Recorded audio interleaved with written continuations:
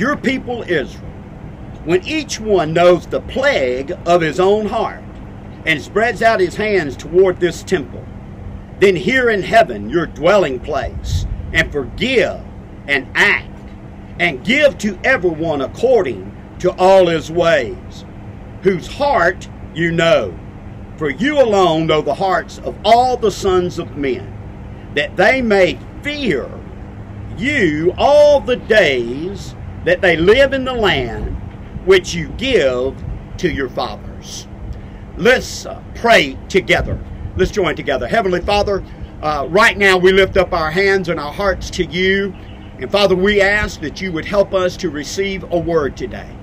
That, Father, that you would uh, clear our minds and our hearts that we might hear from heaven. Father, we want to receive this into our souls and into our spirits. So, Father, you speak now, and may great works be accomplished, and may great works be done. We love you. We thank you for this day and this time, and ask you to do amazing works now. In Jesus' name we pray. Amen. This past week, uh, as I began to ask God what the church should be doing during this time and season that we're in. He took me to this passage of Scripture and he reminded me that this is not unusual in history. Uh, these may be trying times for us, but this is not new to God. Uh, we were first introduced to plagues, and by the way, we need to use biblical terms in this time. That's the problem in the world today. Christians don't use enough biblical terms. This we're listening to the world say it's a pandemic, and I know that's a medical term, and, and we're getting used to the medical side of it. But we need to go back to Scripture and understand that plagues is the word that God associates with this type of work. It is the Hebrew word nagah. It means a blow, it means a strike. Listen, it means a disease, a mark, or a spot. It's affiliated with that terrible disease known as leprosy. We are introduced to plagues and the use of plagues in Exodus chapter 11, Exodus chapter 12, as God using them as a way to convince Pharaoh to let the people go. Then in Leviticus chapter 13 and 14, we are, uh, are, are dedicated in giving instructions to the priest on how to spiritually and physically treat plagues. Numbers chapter 11, chapter 13, 16, 25. Deuteronomy 28, verse 61. 2 Samuel chapter 24, 21 through 25 tells us of God's usage of plagues as discipline for the nation of Israel. So this is not uncommon. The word pandemic should be affiliated to us spiritually with the biblical term plagues. Plagues are not new. God has used them from the beginning of time. Now, in our passage, Solomon has completed the building of the temple and Jerusalem, and he is dedicating it to the Lord. And in his prayer, this wonderful prayer, by the way, which is an entire chapter, uh, chapter 8. Now, in this prayer to God, look what he does. He acknowledged this is a common thing in life. Notice with me in verse 37 the word he uses to begin this passage. He says, when there is. Do you see that in your Bible? He didn't write if there is a plague, if there is a pandemic, if there is a sickness, might be a sickness, might be a plague. No, Solomon uses a phrase that indicates this should be ex- expected. We shouldn't be shocked. We shouldn't be astonished that God would allow a plague to enter into the land. And so he uses this to say that this should be expected. Then in the verse, beginning in verse 38, he tells us the things we should be doing in times like this. So I've entitled this sermon this morning, what we should be doing in times like this. Beginning in verse 38, Solomon, the wisest man in the scripture, as he's praying to God, as he makes this dedication of the temple unto the Lord, he begins by telling us that we are to pray. Now, if you're looking, look through your windshield just a minute up here, Brother Sam. I tried to elevate myself so you could see me, and I know some of you in the back may not be able to see me, but listen, I'll wave at you. Just know I'm looking at you. Listen to this. You say, Brother Sam, I know we're supposed to pray. I've been praying. I've been praying for God to heal the land. I've been praying for God's safety. I've been praying for God to do everything. Solomon says we're supposed to pray a specific prayer. Look at verse 38. He says, Whatever prayer, whatever supplication is made by anyone or by all your people Israel, when each one knows, look at this phrase, the plague of his own heart. So you and I, during this time, we need to be praying, yes, but this prayer should be specific. It should be individual. The, Solomon says, before you and I can pray for our country, before we can pray for our neighbors, before we can pray for anyone, the Bible says, He makes it clear that you and I are to begin in our own heart. Notice that He uses the word plague, it's the same word in the Hebrew before God can deal with anyone, God always starts judgment in the house of God. He begins with His children.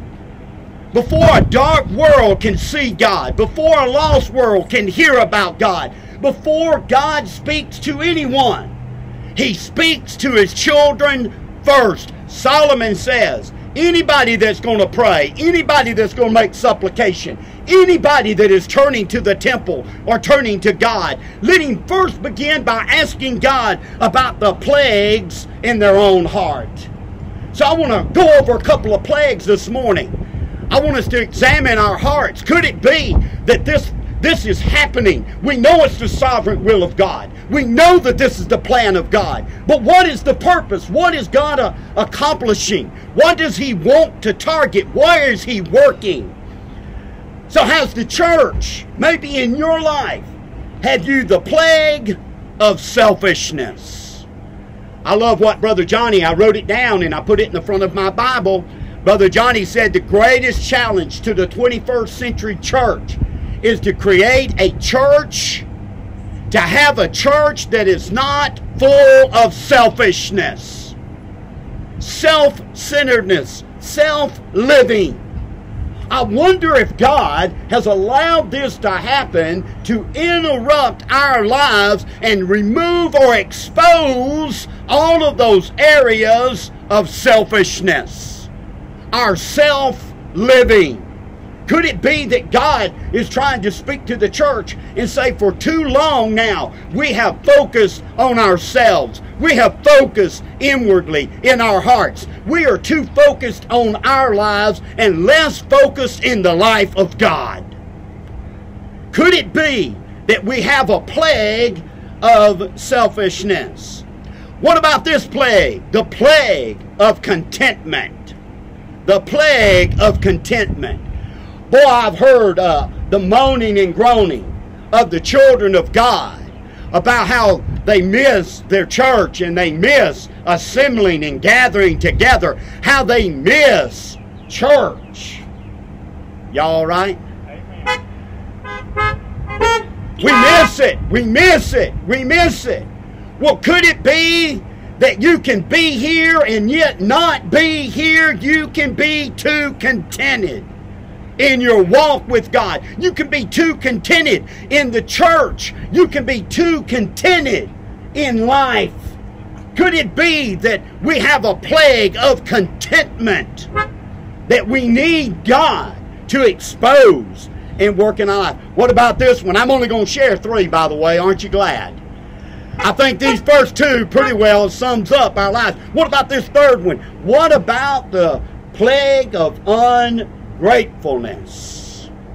How many of you have taken for granted the things of God? How many of us have taken for granted the, the person of God? How many of us are, are looking at our lives now? Let me tell you something. If you're in a third world country and this plague hits you, you're in bad shape. You think it's tough to get toilet paper, live in a third world nation. It's just tough to exist and have life. And yet we still live in the greatest nation in the world. We still live in the greatest country in the world. We still have the greatest religious freedom in the world. God has blessed us. God has given us much more than we deserve. Have we become ungrateful to our God? Uh, standing in the foyer just a minute ago talking to Brother Pete and, and uh, told him I got a phone call this morning and and it was from someone who was discontent that we couldn't gather and assemble. And I told him, I said, well, we are gathering. We are assembling. We've got drive-in church. Thank God for this technology that we can gather out here today.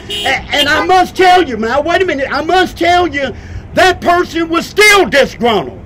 They, they still didn't appreciate what God was doing. Have we become a people of ungratefulness?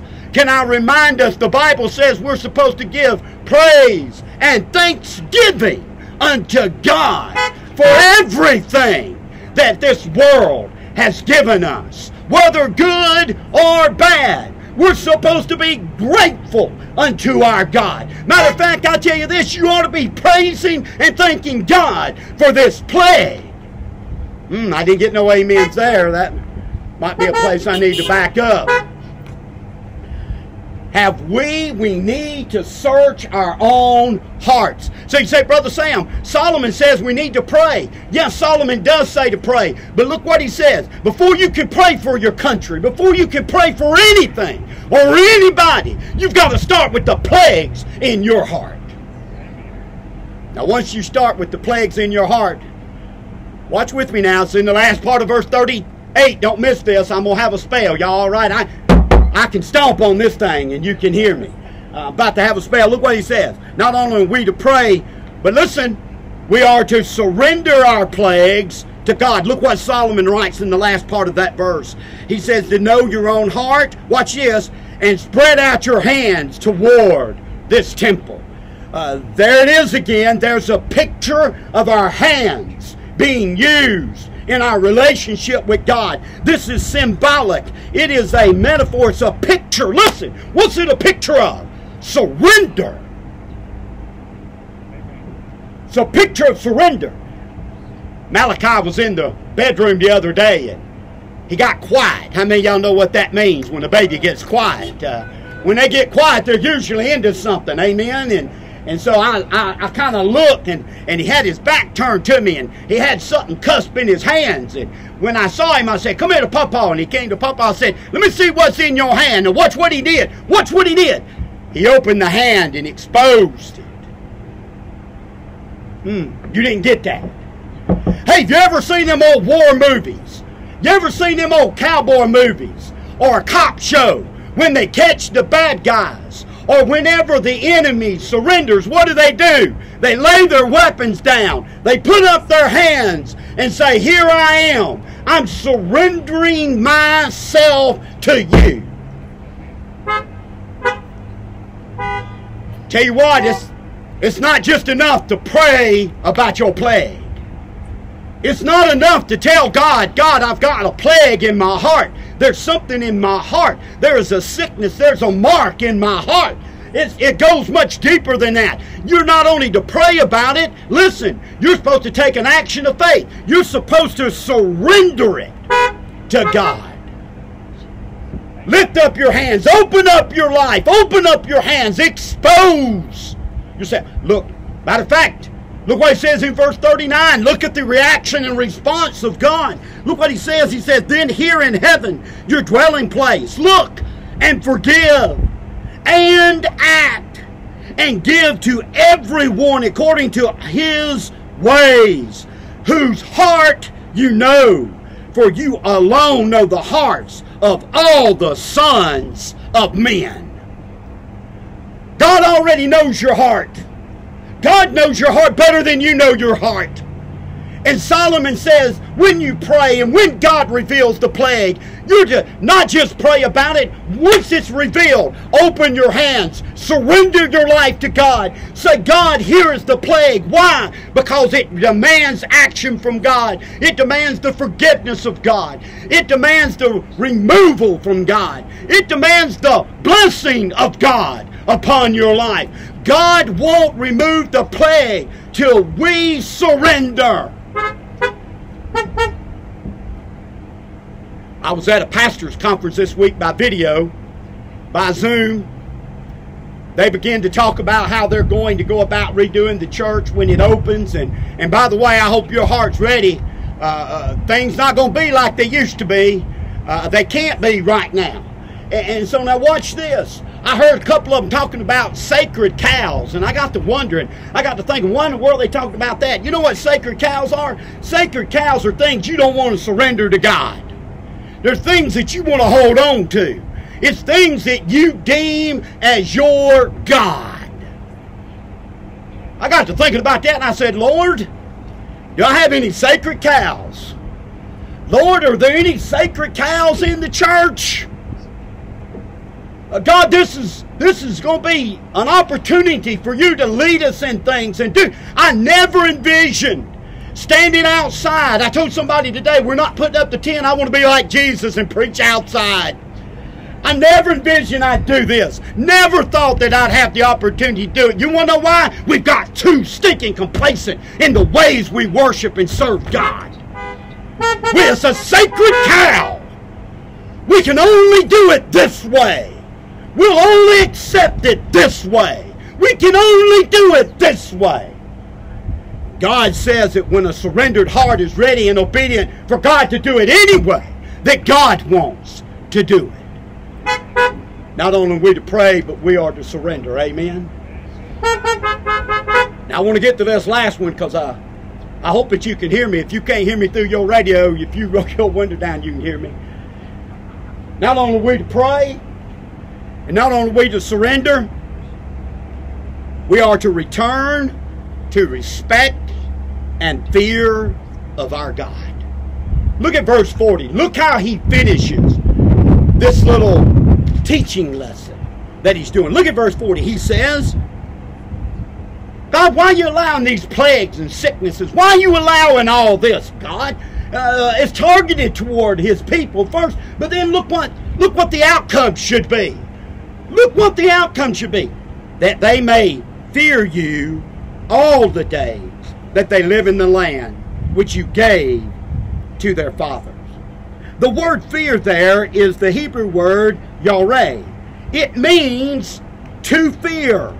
It means to revere. It means to be afraid of.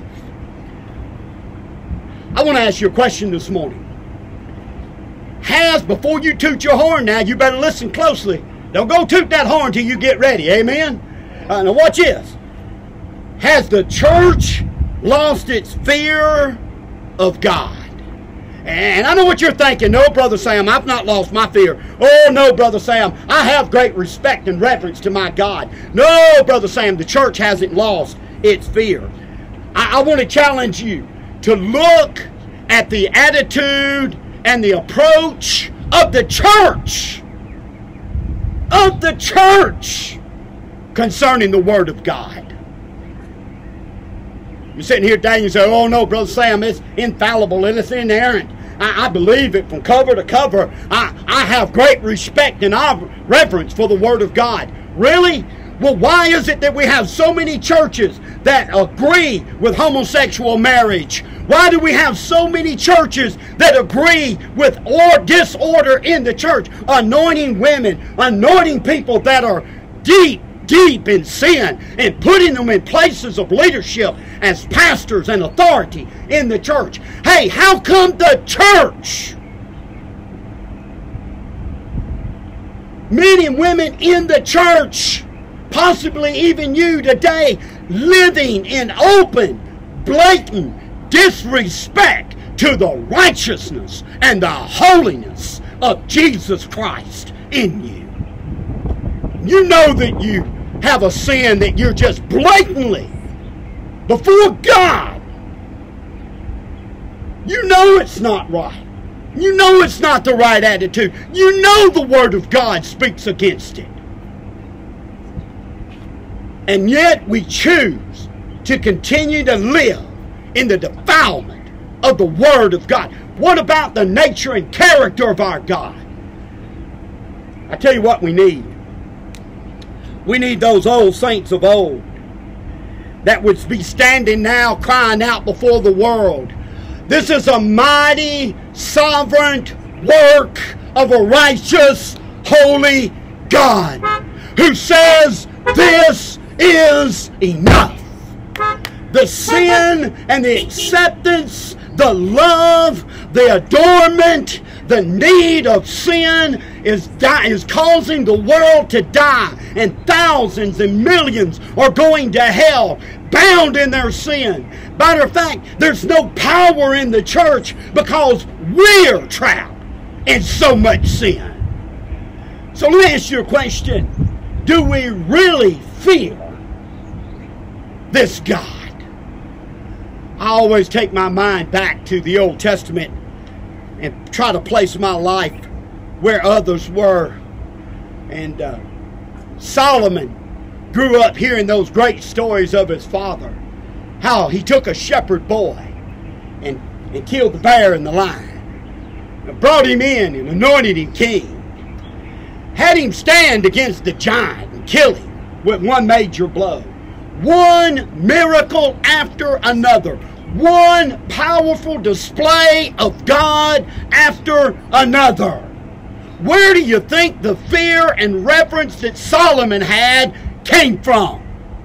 It came from a father who knew and saw the miracles of God. I tell you what, we're not doing in this season, in this time. There's not enough people pointing and saying, oh no, it's, it, it may have started in China, but let me tell you something. There's somebody greater than the nation of China. There's somebody greater that we need to be focused on. There's somebody we need to be turning to. And it's not who to blame, and it's not why it happened. It is, this is a sovereign, powerful work of an almighty God.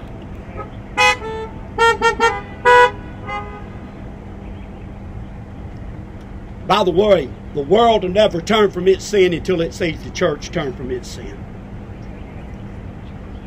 The hopelessness of the world will never come to salvation in God until we tell them. There's plagues in our hearts. We surrender our life, God. God, we want to return to a time of fear, time of reverence of a holy, righteous God.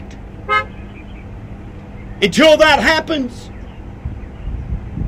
until we return to fear, until we return, how can we expect the world to acknowledge and see God? God help us. Now, right where you're at this morning, I want to ask you a question. We're, we're doing this as close as we can to our church services. I, I want to ask you a question this morning.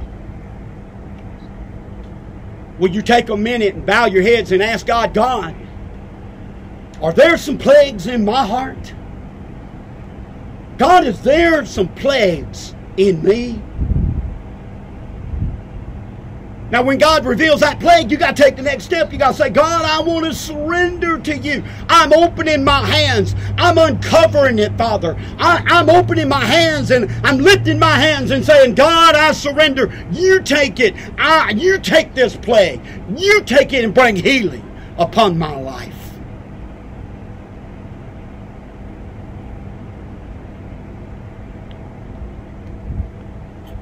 Then and only then can the fear of God and the reverence of God be seen by others. Let's pray. Heavenly Father, in the stillness of this, the next few moments, Father, I ask you to search hearts. I ask, Father, that you would reveal those areas of plague that are in our heart. I pray, Father, that we'd be willing to surrender through confession and repentance, Father. That is us opening our hands uh, the other day when uh, Malachi opened his hands, Father, when he surrendered, he allowed me to take what was in his hand out. Father, repentance, confess your repentance. Father, take this plague from me. Return me and restore me to reverence and fear of Almighty God. Speak now, Father, and bring, bring changes upon your people's heart. In Jesus' name. I, am going to ask you right now if you're here today and you, you've made the decision for Christ. Uh, Brother Gary and I are prepared to come to your car and pray for you, pray with you. Uh, we're ready to come to you and uh, to just encourage you. We'll do it from outside the car. We won't stick our heads or anything in the in the car. But if you made a decision to, for God today, maybe God has spoken to your heart. Maybe you've made a decision. Maybe you have have come to a place of surrender where you've surrendered the plague of your heart. If that's you today and you'd like for Gary or I to pray for you, uh, please text us. You know my number, uh, Brother Gary's number. Uh, we gave you a sheet of paper, or some of you got a sheet of paper in the, as you came in today. We want to know. We want to pray with you, pray for you. If you don't have your phone and you can't text us, just roll down your window and stick your hand up. And, and Brother Gary and I will come to you and we'll pray with you. Just stick your hand out of your car and we'll we'll come with you. Got one right here, Brother Gary. If you would make your way there. Is there anybody else? If God's spoken to your heart today, what should we be doing in a season like this? The worst thing you do is do nothing. Solomon told us, gave us instruction on the things that we're to do. Pray from your own heart. Let God reveal the plague. Then surrender unto God. Sharon is going